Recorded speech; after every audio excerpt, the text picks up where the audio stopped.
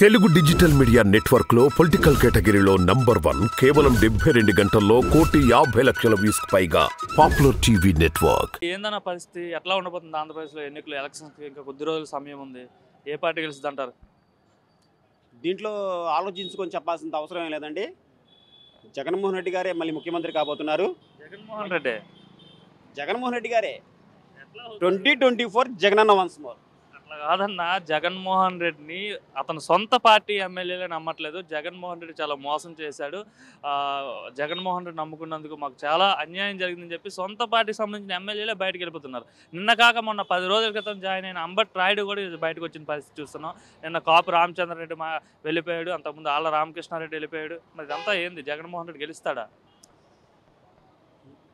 అంబటి రాయుడు వెళ్ళిపోయాడు అని చెప్పే లుచ్చా లఫంగి గాళ్ళకి నేను ఒకటే చెబుతున్నాను.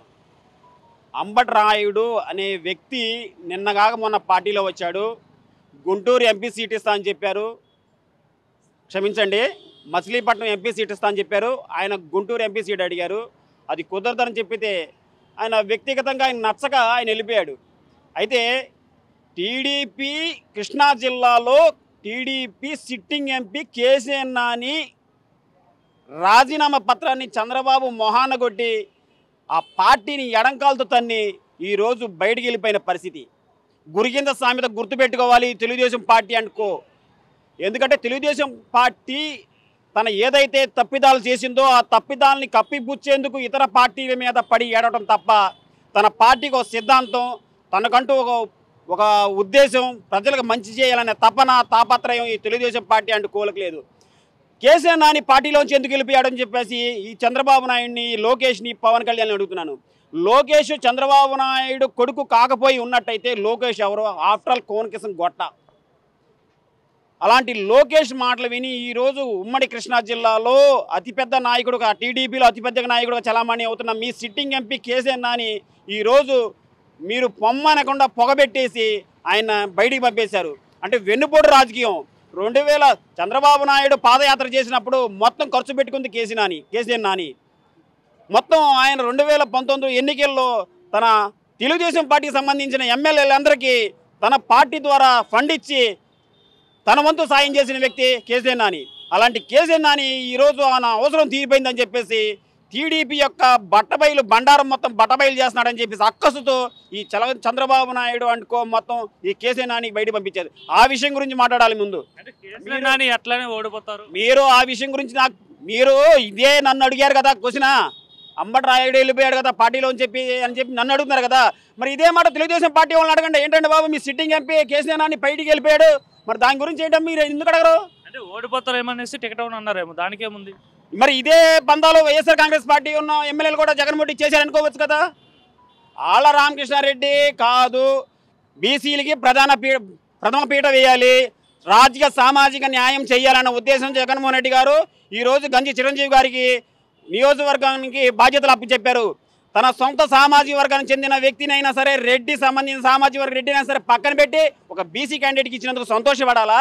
అసూయపడాలా? విజయవాడ ఇప్పుడు తెలుగుదేశం పార్టీ ఎంపీ అంటే గెలిచిన ముగ్గురులో అంటే ఇరవై ఐదు మందికి ముగ్గురే గెలవలేదు తెలుగుదేశంకి.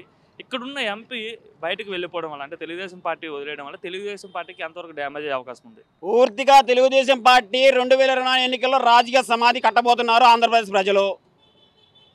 దీనికి ఉదాహరణ ఈరోజు కేసీఆర్ నాని యొక్క ఘటన. ఇదొక్కటే ఎగ్జాంపుల్ ఇంతకంటే ఇంకోటి ఏం లేదు. నాయకులే వాళ్ళ పార్టీలో ఉండలేదు. సిట్టింగ్ ఎంపీనే మీరు కాపాడుకోలేకపోయారు. కార్యకర్తలు మీ వైపు ఎలా వస్తారు? మిమ్మల్ని నమ్మి ఓట్లు ఎలా వేస్తారు? మీరు రేపు రెండు వేల ఇరవై నాలుగు ఎన్నికల్లో అధికారంలో వస్తారని ఎలా భావిస్తున్నారు? సరిమ్లో కూడా వేరేగా కాంగ్రెస్ పార్టీలో జాయిన్ అయింది. దీనివల్ల వైఎస్ఆర్ ఏదైతే రాజశేఖర రెడ్డి అభిమానులు ఉన్నారో వాళ్ళంతా కూడా ఓట్లు చీలిపోతాయి. ఇదంతా జగన్మోహన్ రెడ్డికి ఎదురుగా అంటున్నారు పురంధేశ్వరి స్వయాన చంద్రబాబు నాయుడు వదిన పురంధేశ్వరి. ఆమె ప్రస్తుతం ఏ పార్టీలో ఉందో చెప్పాలి. చెప్పాలి. పురంధేశ్వరి బీజేపీలోకి వెళ్ళినంత మాత్రాన తెలుగుదేశంలో ఉన్న కేడర్ మొత్తం పురంధేశ్వరి ఓట్లు వేస్తారా ఏంటి? చెప్పండి. పరకాల ప్రభాకర్ రెండు వేల పద్నాలుగు నుంచి రెండు వేల పంతొమ్మిది చంద్రబాబు నాయుడు ప్రభుత్వం కొనసాగినప్పుడు పరకాల ప్రభాకర్ తెలుగుదేశం పార్టీలో కొనసాగాడు. నిర్మలా నిర్మలా సీతారామన్ అక్కడ బీజేపీలో కొనసాగింది. కుటుంబాలు కుటుంబం పరంగా ఒకటైనా సరే పాటు సిద్ధాంతాల పరంగా పార్టీల పరంగా విడిపోయారు. దాని గురించి జగన్మోహన్ రెడ్డి గారు ఒకటే చెప్పారు. వీళ్ళ రాజకీయ కుట్రకల కోసం అధికార దర్పం కోసం ఈ చంద్రబాబు నాయుడు కుటుంబాన్ని రెండుగా చీల్చి రెండుగా చీల్చి పబ్బం గడుపుకోవడానికి సిద్ధంగా ఉన్నాడు. రెండు వేల ఇరవై నాలుగు వస్తున్నాడు. ఇలాంటి మోసాలను కట్టిపెట్టండి అని చెప్పేసి జగన్మోహన్ రెడ్డి గారు ఆదేశాలు జారీ చేశారు. ప్రజలు రాష్ట్ర ప్రజలు సందేశం ఇచ్చారు. తదనుగుణంగానే రాష్ట్ర ప్రజలు మొత్తం చంద్రబాబు నాయుడు యొక్క కుట్రలు గమనిస్తున్నారు. మీరు ఎన్ని జిమ్మిక్లు తల కింద పెట్టి కాళ్ళతో పెట్టి పెట్టి తపస్సు చేసినా సరే మీకు ఈసారి డిపాజిట్లు ఇరవై మూడు కదా కదా. ఈ పదమూడు సీట్లు కూడా రావు. డిపాజిట్లు పూర్తిగా డిపాజిట్లు కోల్పోయే పరిస్థితి. నూట డెబ్బై ఐదు నియోజకవర్గాల్లో నూట డెబ్బై ఐదు నియోజకవర్గాల్లో వైఎస్ఆర్ కాంగ్రెస్ పార్టీ అభ్యర్థులు గెలుపొందబోతున్నారు. మళ్ళీ ఆంధ్రప్రదేశ్ రాష్ట్రానికి జగన్మోహన్ రెడ్డి గారు ముఖ్యమంత్రిగా పీఠాన్ని అధిష్ఠించబోతున్నారు.